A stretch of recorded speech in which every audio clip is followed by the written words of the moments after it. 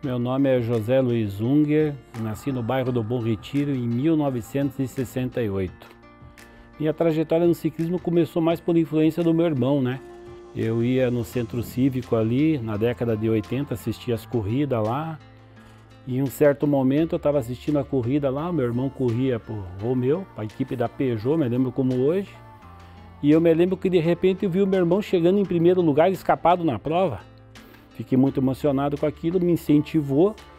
Eu sempre estava limpando a bicicleta dele, tudo para dar uma volta. Em determinado momento, meu irmão trabalhava numa lanchonete, eu pedi a bicicleta dele para mim dar uma volta, porque tudo era difícil. Acabei pegando a bicicleta dele para dar uma volta. Me lembro que eu caí num buraco e entortei a roda e deu uma baita confusão. Enfim. E daí acabei já conhecendo o pessoal, o Adir Romeu, porque ia assistir as provas, estava envolvido.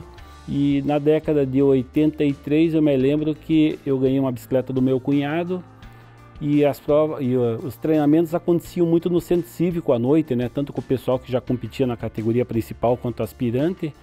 E apareceu uma turma muito grande de piazada na época ali, até o Hernandes Quadri Júnior, é da minha geração.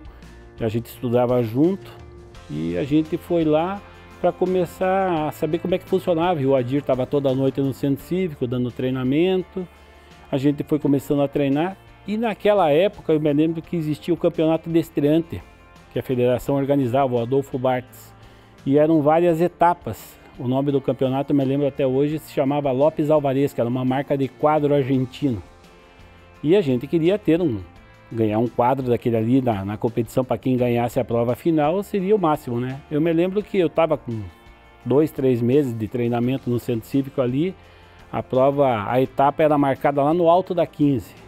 Eu me lembro que nessa primeira corrida que eu fui fazer, já foi ao inverso do meu irmão, né? Eu me lembro que eu acabei me classificando em sexto na prova, se eu não me engano, né? E os 10 primeiros se classificavam para a grande final que ia existir mais para frente. Eu me classifiquei em sétimo, fiquei empolgado e continuei pedalando. Pedalando. Aí veio a grande final, né? Acabei não me classificando bem mas ganhou um menino que corria ali com nós, que treinava no centro cívico à noite. E essa foi a minha primeira, a minha primeira passagem ali no ciclismo. Daí logo já me federaram. Existia só três categorias, né? A novato, aspirante. Eu já fui para novato. A gente corria ali por Ciclo Clube Romeu, do Renato Romeu. O Adir Romeu é o nosso técnico e sempre dando treinamento e tal. Eu me lembro que daí eu já peguei a seleção paranaense júnior e fui competir em São Paulo, meu primeiro brasileiro. Acabei pegando duas medalhas de prata em 83 e esse ano já, eu como tinha começado no meio do ano, esse ano já encerrou, já, já passei para a categoria aspirante. O Adir já me federou na categoria aspirante, eu era júnior ainda. Nesse, o Campeonato Brasileiro de Júnior nesse ano foi em Curitiba. Eu me lembro que eu ganhei duas medalhas de ouro, eu ganhei a prova de, por pontos no velódromo do Capanema, a meio fundo e ganhamos também a quarteta. Ganhamos todas as provas de pista tal. E daí já em 86 eu me lembro que era o meu último ano de júnior, que eu acabei ganhando quatro medalhas de ouro no brasileiro e acabei pegando a seleção brasileira que fui participar do Mundial em Marrocos.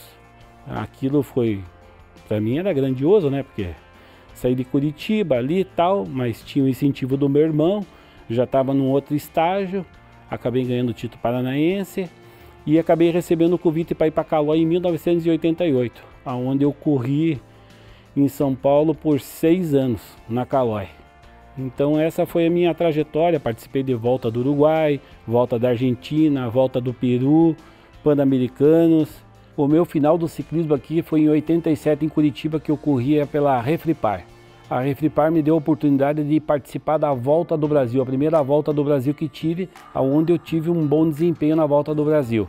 Acabei ficando em 14 na, na geral e fiquei como segundo melhor novato da prova. Aí fez com que eu recebesse o convite da Caloi. Na Caloi eu corri 88 e 89. Corri também a segunda volta do Brasil, participei de volta do Uruguai, volta da Argentina. E aí eu saí da Calói e recebi o convite para ir correr na Tigre, em Santa Catarina. Foi aí que eu tive o meu melhor desempenho. A, correndo na Tigre, a gente teve a primeira volta da Bahia. A volta da Bahia eu acabei ganhando essa prova na classificação geral. acabei ganhando o campeonato catarinense, ganhei o ranking catarinense, ganhei o campeonato brasileiro de perseguição individual lá em São Paulo e participei da volta de Santa Catarina, acabei ficando em terceiro lugar na volta de Santa Catarina e depois eu voltei para Calói, recebi o convite para voltar para Calói. Voltando para Calói, aí a gente participou de várias provas, a prova da Mercosul, volta do Uruguai de volta, volta da Argentina, fomos correr também no Peru, várias provas fora. O que eu posso deixar para vocês de recado, vocês que querem começar, para vocês não desistir nunca do sonho.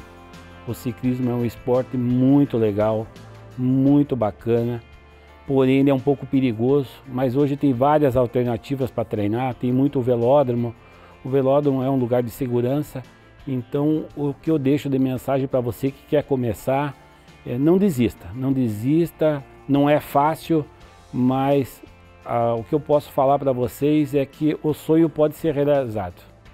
Este é José Luiz Unger, que do momento icônico da vitória do seu irmão Antônio Carlos Unger em uma prova de ciclismo no Centro Cívico em Curitiba, descobriu sua paixão: as bicicletas de competição.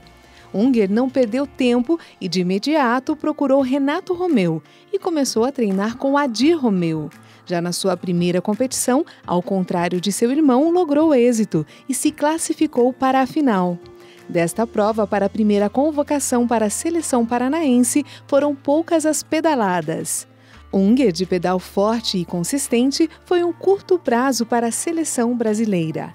Muitas as provas e competições se somaram à sua trajetória. Inúmeras voltas no Brasil, na América do Sul e mundo afora. Obrigado, Unger, por nos mostrar seu amor pelo esporte. José Luiz Unger faz parte da memória do esporte paranaense.